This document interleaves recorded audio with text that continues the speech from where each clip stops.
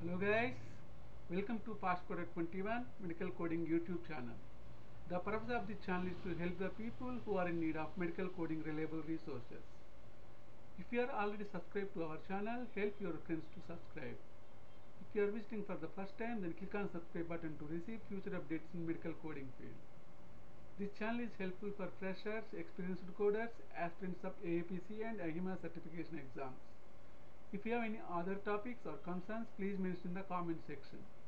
Please click on like button to encourage and motivate us. Please watch until the end to gain in-depth knowledge about ICD-10-CM, CPT, HCPCS, coding systems as these Q&A sessions are very useful in live coding, medical coding interviews, CPC and CCS certification process. Guys, if you go to any interview, keep familiar with the code books like ICD-10-CM, CPT, HCPCS as our sessions will assist you in the process of interviews but not an alternative to original interview process. So, so today our topic is integumentary system. This session is useful with the people who are trying to write AAPC C- Certified Professional Coder in Dermatology CPCD exam.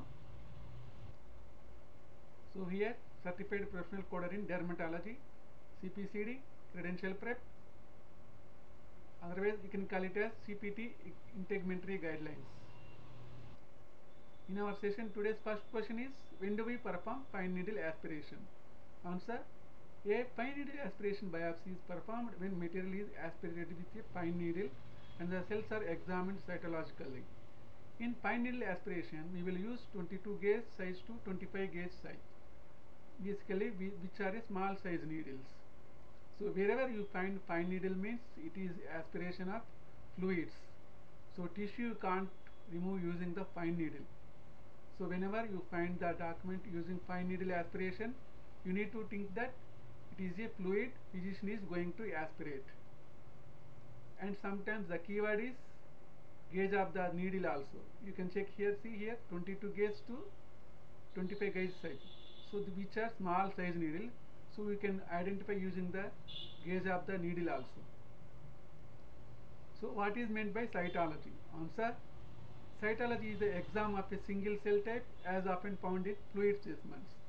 Basically, usually we will perform cytology for fluid specimens, histopathology for tissue specimens. You need to remember this. What is core needle biopsy? Answer a core needle biopsy is typically performed with a larger bore needle to obtain a core sample of tissue for histopathological evaluation. In core needle biopsy, we will use 14, 16 and 18 gauges which are large circumference needle. As we told before, so core needle biopsy useful for removal of tissue sample, not like uh, fluid. So here for tissue sample, we will usually perform histopathological examination. So here our needle sizes are 14, 16 and 18 gauges. So next question, what is histopathology? Answer, histopathology means the study of changes in tissues caused by the disease. So using this histopathology, physician will identify what are the changes occur because of the disease process. Next question, how do we perform fine needle aspiration? Answer, fine needle aspiration biopsy procedures are performed with or without imaging guidance. Have you ever think about why the physician will use imaging guidance here? So I will tell the answer. Basically, whenever physician taking the fluid, he can't see visually. Like fluid means it is inside the body, so he can't see where is the fluid exactly if it is a mass or bump he can see physically. So uh, it can it can it is available it is we can see it is externally. But uh, we can't see the fluid location. Because of that reason for fine needle aspiration biopsy physician will use imaging guidance. So will you report imaging guidance codes along with fine needle aspiration codes answer we no need to report imaging guidance codes as FNA biopsy code itself includes imaging guidance. As we discussed before, fine needle aspiration biopsy, it is mandatory to use like imaging guidance. Why means fluid is located in the inside the body which the physician can't see with naked eye. Because of that reason, using the imaging modalities, physician will identify the exact location of the fluid. So how do you report when more than one needle aspiration biopsy is performed on separate lesions at the same session, same day, same imaging modality? Here we need to use the appropriate imaging modality add-on code for the second and subsequent lesion. Next question. How do you report when more than one FNA biopsy is performed on separate lesions, same session, same day using different imaging modalities? Previous one is same imaging modality. This one is different imaging modalities. Answer. We, note, we need to report the corresponding primary code with modifier 59 for each additional imaging modality and corresponding add-on code for subsequent lesion samples. How do you report when FNA biopsy and core needle biopsy both are performed on the same lesion, same session, same day using the same type of imaging guidance? Answer.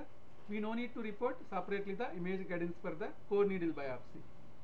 So here we no need to use the imaging guidance for core needle biopsy. It is already included in FNA. How do you code when fine needle biopsy is performed on one lesion and core needle biopsy is performed on separate lesion, same session, same day using the same type of imaging guidance?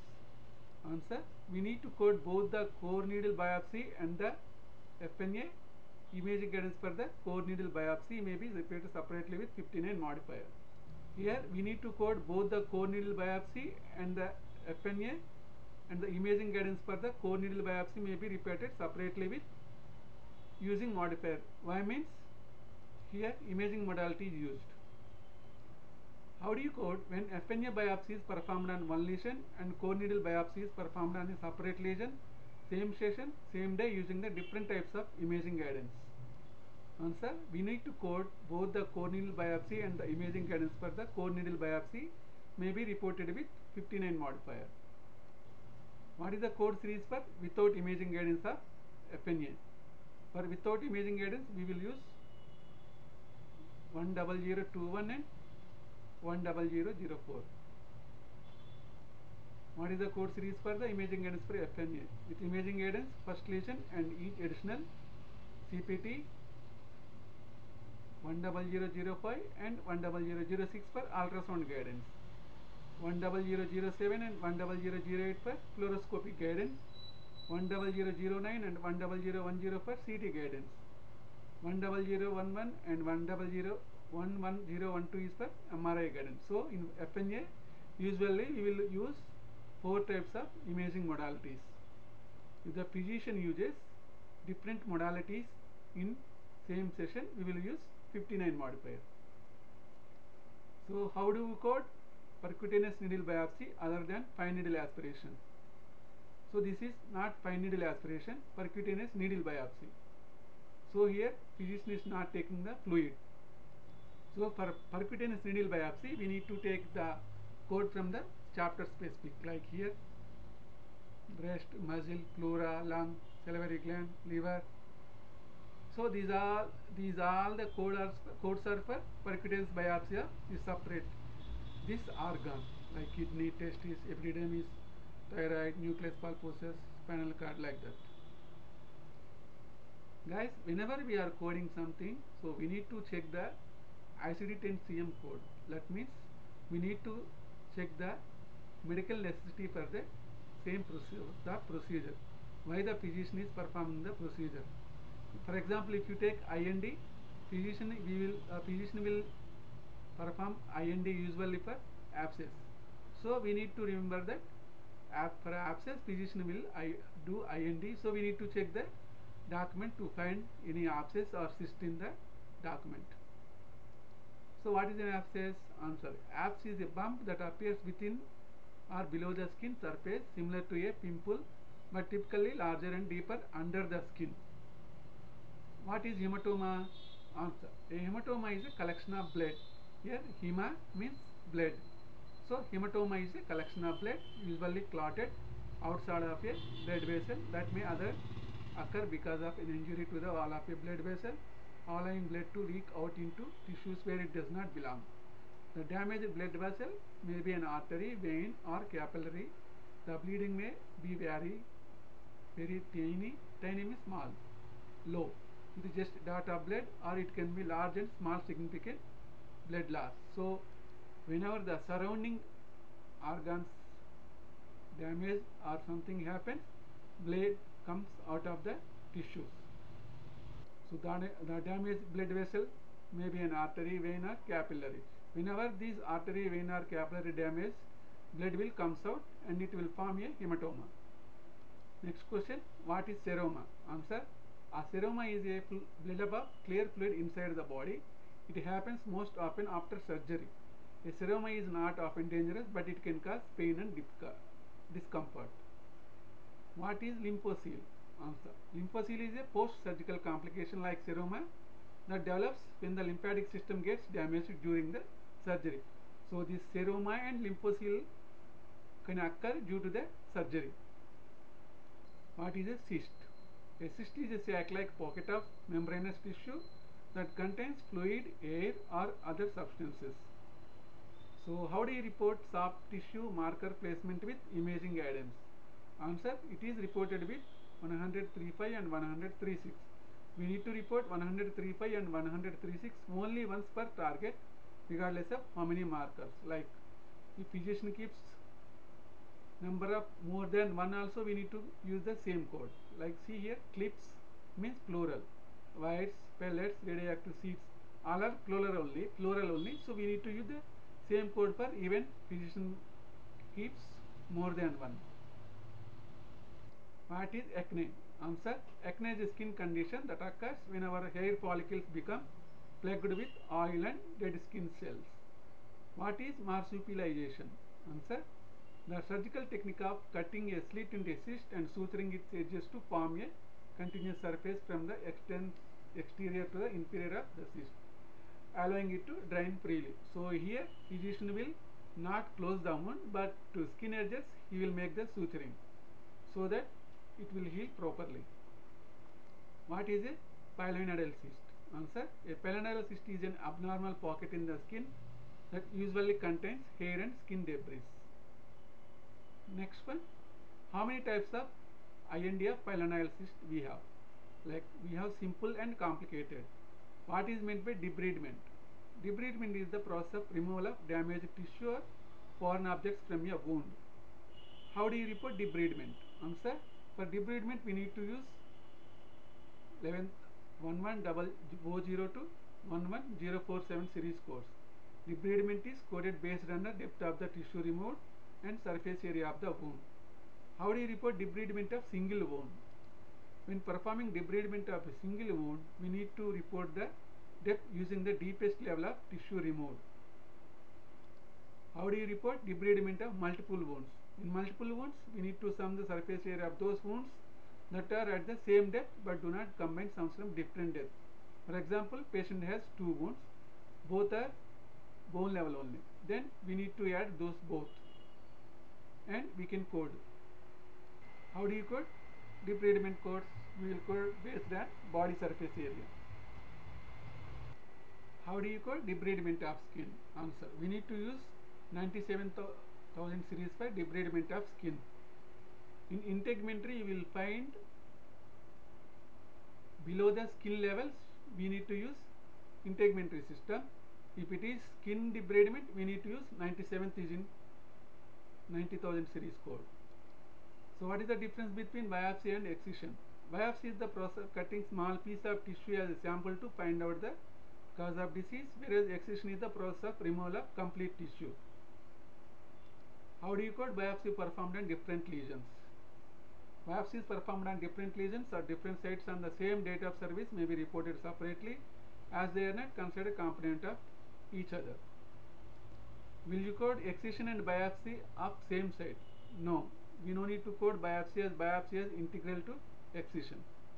What is partial thickness biopsy?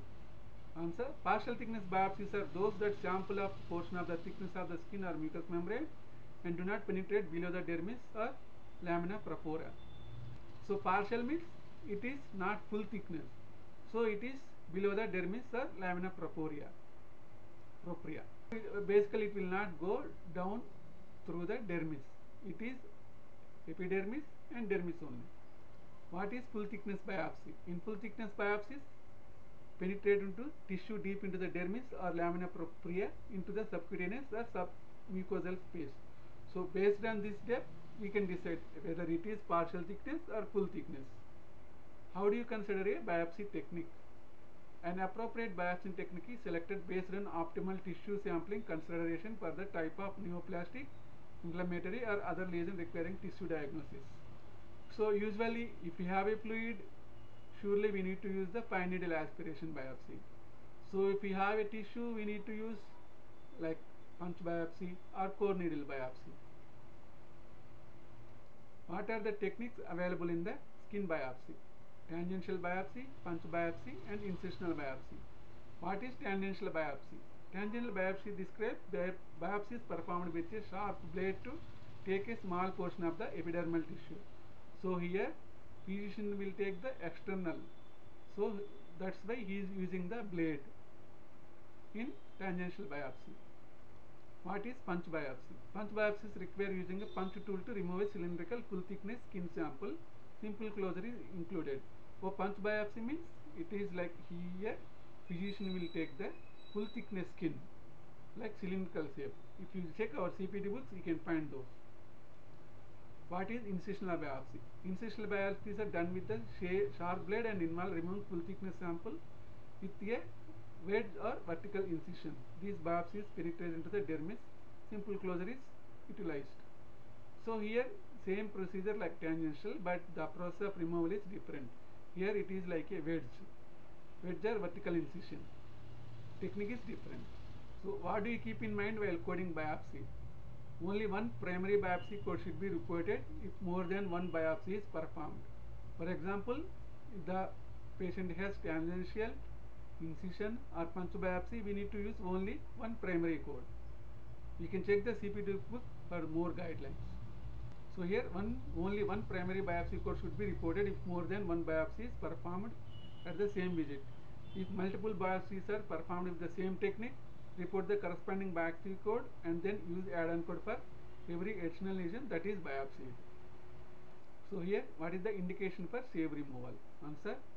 An indication for shave removal procedure may include symptomatic lesion that rubs on waistband or bra or any other region why an elevated lesion is being completely removed with the shave technique suggesting a therapeutic intent. It is only shaving, so it is external of, external surface of the skin. It will not go into the depth. It is the responsibility of the physician or qualified healthcare professional performing the procedure to clearly indicate the purpose of the procedure. Yeah, that is correct. So how do you code complete excision? If we are excising the entire lesion, we will need to use excision codes. If we are taking the biopsy, we need to take the biopsy codes. So if we are excising entire lesion, we will need to use codes, excision codes depending on whether the lesion is malignant or benign. How do you code if the procedure is performed on different sites? As usual, if the procedure is performed on different sites, we need to use 59 modifier. So what is shaving? Shaving is the sharp removal by transverse incision or horizontal slicing to remove epidermal or dermal lesion without a full thickness or dermal excision. It does not require suture closure. Basically, whenever you see the shaving, it is external of the skin, not in depth or not full thickness. How do you code shaving? Based on lesion diameter in centimeter and location of lesion. How do you calculate lesion size to code? We need to combine lesion, lesion size plus margins too. What is excision? Excision is defined as full thickness removal of skin lesion including margins and includes simple closure when performed. What is a benign lesion? Benign lesions are not cancerous. Benign tumors may grow larger but do not spread to other parts of the body. We can call it as non-malignant lesions also. What is malignant lesion? A term used to describe cancerous lesions. Malignant cells grow in an uncontrolled way and can invade nearby tissues and spread to other parts of the body through the bladed lymphatic system. As malignant lesions will grow uncontrolled, it might be a chance to spread to the other organ or blood or lymphatic system. Benign lesion is located in only same location. They will not spread. So how do you code benign lesions? Benign lesions are benign neoplasm like cyst, fibrous tissue, inflammatory conditions, congenital lesions. Full thickness, removal of lesion including margins, including simple closure and local anesthesia. We need to code separately each benign lesion excised. So these guidelines are for only benign lesions. These are not cancerous. Code selection is based on lesion diameter plus narrow margins. And intermediate and complex closure should be reported separately along with excision code. Simple closure is part of the excision process, hence it would not be coded separately, which is common in even malignant and benign. How do you code excision of benign or malignant lesion with adjacent tissue transfer? Whenever we code, whenever we excise benign or malignant lesion along with ATT, we need to code only ATT, no need to code benign or malignant lesion. What are the examples for malignant lesions and how do you code? Examples for malignant lesions are basal cell carcinoma, squamous cell carcinoma and melanoma. Here full thickness removal of lesion including margins, including simple closure and local anesthesia. We need to code separately each malignant lesion excised. Code selection is lesion diameter plus narrow margins. In intermediate complex, we need to code separately. Use only one code to report additional excision, re-excision based on the final diameter required for complete tumor removal at the same operative session. To report a re-excision procedure performed to widen margins at subsequent operative session use as appropriate. If the physician performs re-excision also, we need to use same malignant lesion excision codes. We need to append modifier 58 if the re-excision procedure is performed during the post-operative period of the primary excision procedure. So if the physician performs re-excision of the lesion to find out to procure more margins, we need to code same malignant excision codes along with 58 modifier stating that it is a staged procedure. So what are the key parameters you need while coding benign or malignant lesions? Answer, to code benign or malignant lesions properly, we need to check site of the lesion as well as diameter of the lesion in centimeter. So in our codes itself are based on created based on the site of the lesion as well as the lesion diameter. So what is the difference between simple and extensive pilonidal cyst excision? With a small or simple sinus in 11,770, the physician uses a scalpel to complete excise the involved tissue. The wound is sutured in a single layer. In 11,771, the extensive sinus is superficial to the underlying fascia, but it has subcutaneous extension. Sorry, the physician uses scalpel to complete excise the lesion. It is like uh, based on the skin layer. See here, completely excise the involved tissue. It is superficial only. Here, extensive sign is superficial to the fascia, fascia level. How do you code injection to lesions? Based on number of lesions injected. When to use repair or closure course? We need to use course in section to designate wound closure utilizing sutures, staples or tissue adhesives they are singly or in combination with each other or in combination with adhesive strips.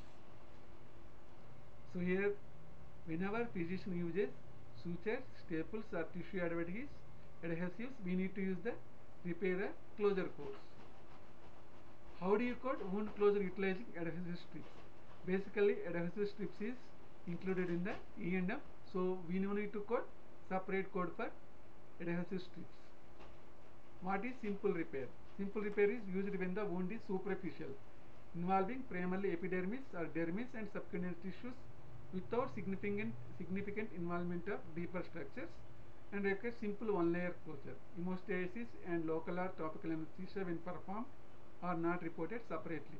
So basically it is included in the involve primarily epidermis and dermis or subcutaneous tissue without significant involvement deeper structures like muscles or fascia.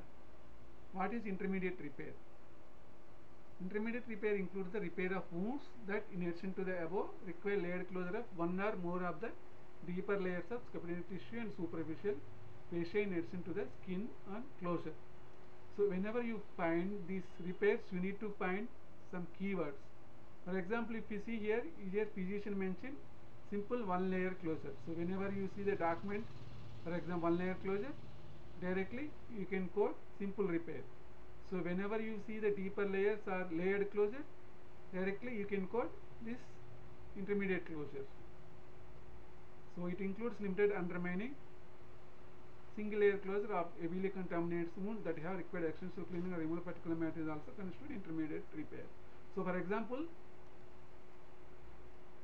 that wound is hugely, hugely contaminated and it is having the single layers closure the wound is contaminated. We need to code it as intermediate not simple.